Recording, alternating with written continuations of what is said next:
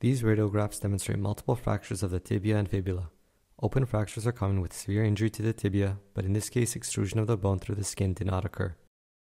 In the midtibial shaft, there is an oblique fracture with displacement and comminution. Here, in close proximity, is a segmental fracture of the fibula. This non displaced fracture of the proximal tibia is somewhat less evident, but has important implications in regards to management because of its location.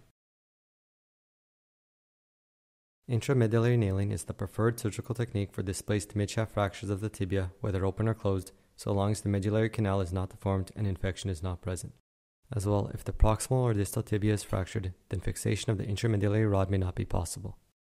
After open reduction, and sometimes a technique called reaming, the rod is inserted into the tibial cortex and fixated to the proximal and distal tibia. In this case, three screws, though not all visible, were required for distal locking. Proximal locking was achieved with two screws. Postoperatively, the patient should receive sufficient pain medication and prophylaxis against infection and deep venous thrombosis.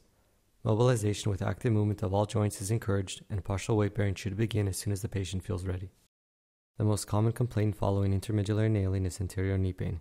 The knee pain can be present at rest, but is more common with kneeling. Removal of the implant often leads to relief of pain, however, the implant should remain in place for at least 12 months.